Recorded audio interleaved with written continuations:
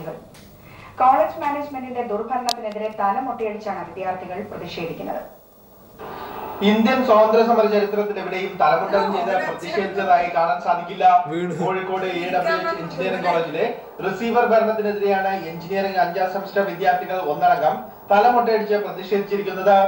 കഴിഞ്ഞ ഒന്നര വർഷമായി കോളേജിൽ റിസീവർ ഭരണമാണ് നിലനിൽക്കുന്നത്. കോളേജ് മാനേജ്മെന്റിലെ തർക്കം കാരണമാണ് കോടതി റിസീവർ ഭരണം ഏർപ്പെടുത്തിയത്. ഒരു എഞ്ചിനീയറിംഗ് കോളേജിന് ആവശ്യമായ അടിസ്ഥാന സൗകര്യങ്ങൾ പോലും ഇവിടെ ഇല്ലെന്ന് വിദ്യാർത്ഥികൾ പറയുന്നു. ഒരു എഞ്ചിനീയറിംഗ് കോളേജിൽ ഉണ്ടാവുന്ന മിനിമം ഒരു ഫെസിലിറ്റി പോലും ഇവിടെ നമുക്ക് ആർക്കും ലഭിക്കുന്നില്ല. ഒരു ഒരു ഡിപ്പാർട്ട്മെന്റിലും ലഭിക്കുന്നില്ല. നല്ലൊരു ക്യാന്റീൻ ഇല്ല. ലാബ് ഫെസിലിറ്റി ഇല്ല.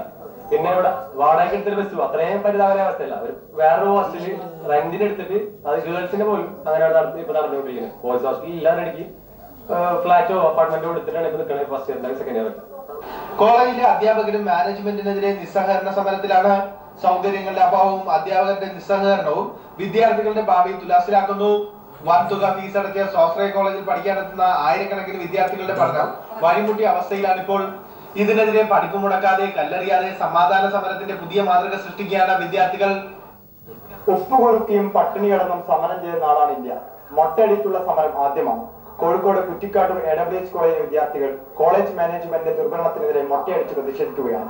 കോഴിക്കോട് നിന്നും ക്യാമറമാൻ എ വി ശാസ്കുമാറിനൊപ്പം വി എച്ച് അല്പം വിശ്രമം വാർത്തകൾക്കപ്പുറത്തെ വസ്തുതകളുമായി സൂര്യ വാർത്തകൾ.